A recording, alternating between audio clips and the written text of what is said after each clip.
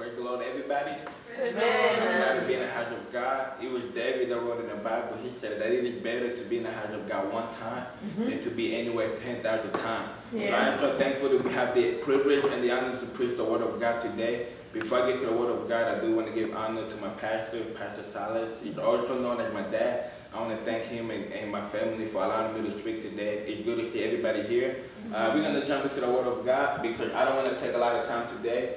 But I believe God gave me a word. God gave me something in my heart that He wanted me to preach on today. So if you all pay attention and let God have His way and let God speak to us this great evening. So we're going to get to the Word of God. We're going to be reading from the book of Romans, chapter 8, starting from verse 35. Romans, chapter 8, we're going to start from verse 35, and then we're going to read to verse 39. Romans 8, 35. It says, Who shall separate us from the love of Christ? Shall tribulation or distress or persecution or famine or nakedness or peril or sorrow? As it, is, as it is written, For thy sake we are killed all the day long. We are accounted as sheep, as sheep for the slaughter. Nay, in all these things we are more than conquerors through him that loved us. For I am persuaded that neither death, nor height, nor angels, nor principalities, no powers, no things present, no thing to come. Verse 39, the last verse, the Bible says that no height, no death, nor any other creature shall be able to separate us mm-hmm. from the love of God, which is in Christ Jesus our Lord. From this whole moment that I have with you guys, I want to talk about the love of Jesus. Amen. I want to talk to you guys about the love of Jesus. We found the Apostle Paul, he was writing to the book of Romans, he was writing to the church. And I felt like he got to a point that the Romans or the church, they felt like that the love of God was not there. They felt like they couldn't be loved. So, so Paul asked a great question. He said, who hmm. shall separate us from the love of God? He goes on and he lists everything, everything that might that might stop you from loving, from God loving you. He goes on and he lists everything that you that you might think that might be able to separate us. The Paul said, said tribulation. He said I won't separate us. He said persecution hmm. Won't even separate. He said feminine mm. won't separate. He even said the nakedness mm-hmm. won't separate. But the greatest thing about this about the scriptures is Paul goes to a verse and he said not even death mm. can separate us from the love of God. Yes. I've come to tell you that there's nothing in this world, mm. there's nobody in this world that can ever stop God from loving you. Mm-hmm. And the, the thing about human is we always want to put somebody down. We mm-hmm. always want to talk about bad about people. And, and I feel like sometimes people complain about others. But even no matter how much they talk about you, no mm-hmm. matter how much they put you down, God will never stop loving you. Amen. And I want you to understand Amen. that nothing can, can stop God from loving you. Amen. So Paul was writing to the book of Romans and he lists everything on the list that might be something, that might be an exception, that, that might separate us from the love of Jesus. But, but he said there's nothing that might separate God from loving you. But, but he said death won't separate us from the love of God. And my mind as a humankind, our knowledge, our mind, I began to think that even death can stop God from loving you, which means that even when we die, mm. even though it, sometimes it's not our choice, but but the Bible says that death's gonna stop God from loving you. So mm. no matter even even those people that have died, God would He didn't stop loving them when they died. Mm. Even though they they, they, they chose a, a destination or the life that they wanted to live after life, but even through everything that we go in life, God still loves us. And that's a powerful thing that not even death mm. can stop Jesus from mm. loving you. Amen. Verse 39 says, No height, no death, nor any other creature shall be able to separate us from the love of God, mm. which is in Christ Jesus. I want to tell you that the true love of, of, of what we what need in this world right now, that the love is going to be inside of Jesus Christ. Amen. The Bible says that, that the love of God which is in mm. Jesus Christ. Amen. Everything was and everything is and everything will always be in Jesus Christ. Mm. The Bible says in Colossians 2 and 8, Beware lest any man spoil you through philosophy and vain dishes after the tradition of man, after the rudiments of the world and not after Christ. For in him, talking about Jesus Christ, dwelleth all the fullness of the Godhead bodily, and ye are complete in him, which is the head of all principality and power. The Bible was letting us know that everything, principalities and powers and, and everything that was created was inside Jesus Christ. Jesus has all the power. The Bible says that he was given the, all the powers and all the authority from heaven and earth and under earth. Everything was given to Jesus because Jesus got all the power. And the love of God is in Jesus Christ. Because when Jesus went to Calvary, the Bible tells us in First Peter that, that Jesus literally he was walking to Calvary, and the Bible let us know that he was carrying the sins of the world on the back of his back. The Bible said that Jesus, when he went on the cross, that every sin that you ever committed, every sin that you ever did in your mind, in your words, or your body, that Jesus was carrying in the back of his back. Amen. Which means that Jesus was so heavy and with everything, the word, the sin of the world was in the back of his back. He was carrying when he was going on the cross. That's why the Bible says that the love of God was manifested in the man Jesus because Jesus died for our sins, and that's where true love comes from. Amen. Jesus didn't have to die for you. Jesus didn't have to die for me. But the Bible says that for God so loved the world that he gave his only begotten son, that whosoever believe in him should not perish but have everlasting life. I just have to tell somebody that love, you will only find love in Jesus. Hmm. Nobody can love you more like Jesus. Nobody can take care of you like Jesus. Nobody can show you kindness and mercy and grace like Jesus. But when you find yourself in love with Jesus, the Bible says that Jesus, His love will come on you because Jesus is full of love. He's hmm. full of mercy. He's full of grace. And He's full of life. The Bible says that they will come to steal, kill, and destroy. But Jesus said, I have come that they might have life, mm. and they might have life more abundantly. Mm. In this word, the Bible says in 1 John 1 and 2, he says, For the life was manifested, and we have seen it, mm. and bear witness, and so unto you that eternal life, which was with the Father, and was manifested unto us. Life was manifested. Man- manifestation means something that is not tangible, something that is not touchable. Mm-hmm. When manifestation, when that means that thing that is not touchable, tangible, or seen, manifestation means that it becomes reality. It becomes something that you can touch.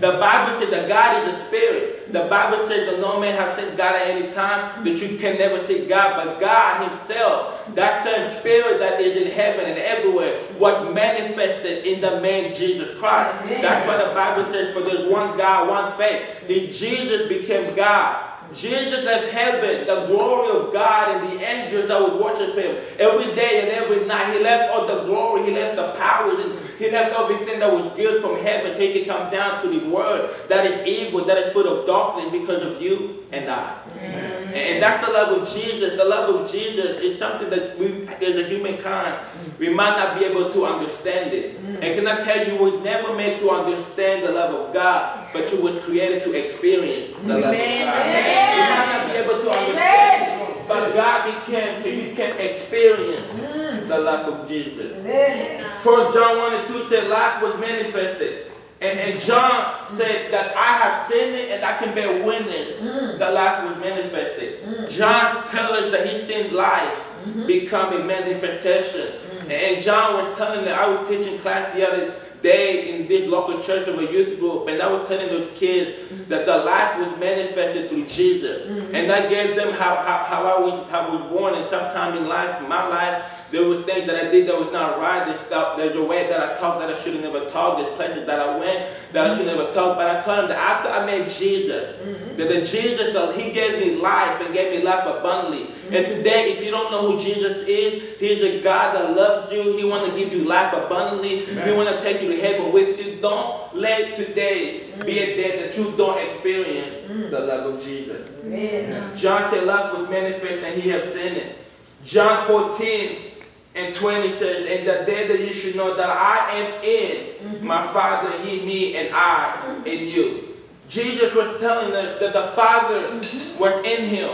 And he was telling them that in me, Jesus, that I'm going to be in you also. So when you fully understand who Jesus was and who he represented and how he, he walked in his life, you can understand that I need more of Jesus today than I ever did in my life. Because Jesus comes to give you life and to give you hope and to give you peace. Amen. Jesus was the Word, and the Bible says that the Word was from the beginning, and the Word was with God, and the Word became God. The mm-hmm. Bible tells us that there is Jesus, the love of God. Mm. Genesis 11 and 1. Genesis 11 and 1 tells us, in the whole earth, in the whole earth was of one language mm-hmm. and one speech. Mm-hmm. And it came to pass as the journeyed from the east that they found a plain in the land of Sinai and they dwelt there. Mm-hmm. And they said one, and they said one to another, Go to, let us make brick and burn them thoroughly. Mm-hmm. And they have brick for stone and slime had they murdered. Mm-hmm. Verse number four, and the Bible said, Go to, let us build us a city and a tower whose top may reach to heaven. And let us make us a name, lest we be scattered abroad upon the face of the whole world. Verse number five, and the Lord came down to see the city and the tower which the children of men built it. And the Lord said, Behold, the people is one, and they all have one language. And in this they began to do, and now nothing will be restrained from them, which they have imagined to do. Go to let us go down, and then come for the language, that they might not understand one another's speech. Verse 8, so the Lord scattered them upon the the face of all earth, and they left them to build the city. Verse number 9, last one, therefore is the name of it called Babel, because the Lord did there confirm the language of all the earth. Mm-hmm. And from there the Lord scattered them abroad upon the face of the earth. The Bible tells us this great story of all these people back in Genesis, back in the beginning. The Bible says that there was all a one mind, and they spoke one language. Mm-hmm. And they were trying to make this big tower, the Bible calls it Babel, and they were trying to reach the top of the heaven so they can figure out who God is. Mm-hmm. The Bible says that as they was doing it, they said, let us.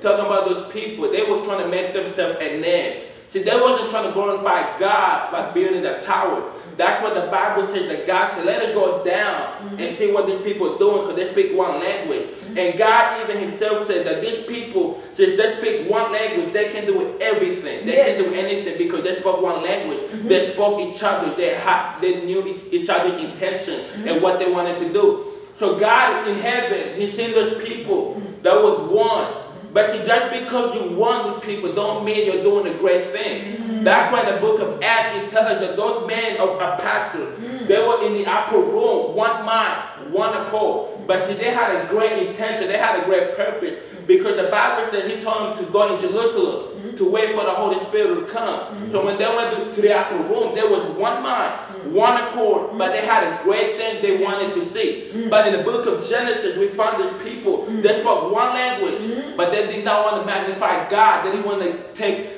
put God above. They wanted to figure out who God was. And God doesn't want you to figure out everything. If God wanted you to figure out everything, then we, we wouldn't need no God. Because in our own mind, in our conscience, we would know everything. We would know what to do and everything. That's why God sometimes don't want us to know everything. Because when you get to a point that you don't know everything, that's when you can call on the name of Jesus. And he can come down and help you. So today, if you don't understand everything, that's okay. You were not created to know everything, but you were created to understand and to love the one that knows everything, which is Jesus. Mm-hmm. Amen. Amen. So these people, they spoke one language, mm-hmm. but they didn't have the right intention. They didn't have the right things that God wanted to accomplish. Mm-hmm. So God came down in the earth and He destroyed the tower. And from that day, they called the tower Babel. Because those people, even though there was one mind, one accord, they wasn't doing the right thing in the eyes of God. So mm-hmm. today I want to encourage every single one of us.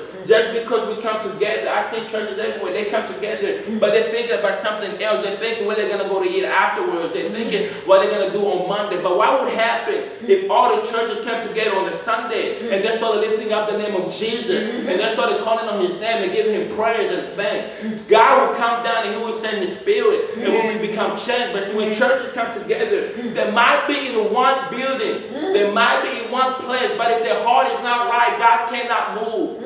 Because what God wants, He wants a church that will come together thinking about how good He is and how great God is. And when you start thinking about how great God is, God can come down and He can minister, He can move. Because that's how God wants us to be. So just because we come together don't mean God is right there within us, but it's because when we come, the Bible says where there's two or three or more gathered in the name of Jesus. So we gotta be the, the name that is above every name. The name that got all the power. The name yes. that got all the authority. Yes. He get in the name of Jesus. He can come down. He can change somebody's life. He mm. can heal the leper. He can open blinded eyes. He can perform miracles. He can move. He can heal. And he can do miracles. Mm. Because we have come together in the name Amen. of Jesus. Amen. The Bible tells us that those men was one but they put their mind to the wrong thing. Hmm. These people were one, hmm. but for the wrong reason. Hmm. God help us to have unity and, and become one, but for the right reason. Yes. Psalms 133 and 1 says, in Song of the Grace of David, David said, How good Mm. and how present it is for brethren mm. to dwell together mm. in unity. See, David wrote down, he said, It is good, it is pleasant, it is something great when, when brethren, when brothers and sisters come together for the right reason, which is Jesus Christ. Can I tell you, I don't come to church for nobody else. I come to church so I can experience God's grace. I come to church so I can experience God's mercy. I come to church so God can forgive me. Because sometimes we worry about so what other people is doing that we might not be able to understand what God wants to do to us. Yes. Before we ever go to the word or reach those that are lost, to those that don't know Jesus, we gotta make sure that God is working on the inside of me. Because if God can change my heart, then I can go tell everybody else that God, if God can do it for me, God can do it for you too. Amen. So today I encourage all of us hmm. to let God start working hmm. on inside of us. Amen.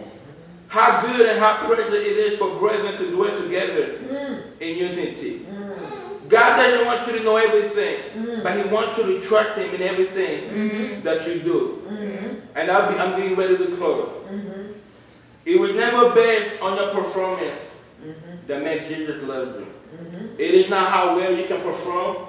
It's not how great you can preach. It's not how great you can teach. It's not how great you can sing that makes Jesus love you. Amen. Because if it was based on performance, Jesus wouldn't love any of us. Mm-hmm. Because there's no way we can preach good enough for God to love us. There's no way we can sing great enough for God to love us. It's not based on performance. Mm-hmm. And if we ever understand that everything inside of a church is not a competition, mm-hmm. it's not about how great they're doing and how great we're doing, but it's about that God loves us no matter who we are, no mm-hmm. matter what we have done, because it is not based on how great we perform. I'm telling you, if it was based on how great I perform, God would not love me. Because I make mistakes every day. I, I, I don't perform well sometimes. Sometimes I come short. But it is not based on my performance. It is based on who I am. It is based on how God created me. And if God created me the way I am, He's going to love me through everything that I go in every season that I'm in.